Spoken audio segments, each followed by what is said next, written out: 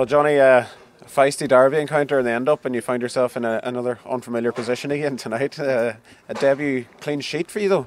I think my versatility knows no bounds. Um, very, very unexpected. I look, to be fair, it was a it was a proper derby tonight, proper tough game. Two teams going at it, hammer and tongs, and you know the form we've been in, like we, we really carried that into tonight. And you know, to be fair, though, on the balance of play, Derry probably did deserve a point. and um, look, we'll go back home. we will we'll take our point. We'll go back home, be ready for Monday. Yeah, well, uh, you wouldn't normally have been expected to be out on the, the plastic pitch. You know, what was kind of your thoughts there, getting onto the pitch in the first place? Um, ah, yeah, look, I, I don't. I, am ready to do a job anytime I'm called upon. You know what I mean? It's it's. Um, as everyone knows, it's a pleasure for me to play for Harp, so I don't mind whatever I'm called upon to do.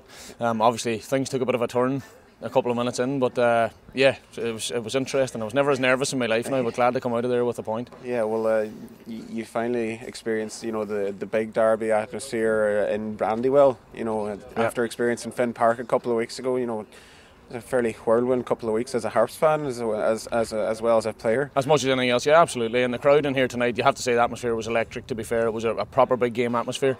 Um, and you know, look, we probably we've played better over the last couple of weeks. We, you know, we, we have played better, um, and hopefully we can do that again on Monday. But we'll, as I say, we'll take a point. We're on a, you know, we're on a good in a good vein of form, and we'll be ready to go again on Monday night. Yeah, as you say, the the, the vein of form has continued. You know, another game unbeaten. You know, and we're looking forward to two big games next week again. You know, Monday against Bohs, and then the big cup quarter final against Dundalk you know, coming thick and fast now. That's it. Another fantastic week upcoming, and it's great to be in all the big games. It's great, it's great to have them coming along like that. And you know, when you're walking through the town at the moment, and there's a nice vibe around, there's a nice buzz. People are asking about Finn Harps. Finn Harps are going well, and it's great to hear that the positivity surrounding the club. And you know, as players now, we just need to keep that going. Yeah, you'll be challenging for that number one spot now then.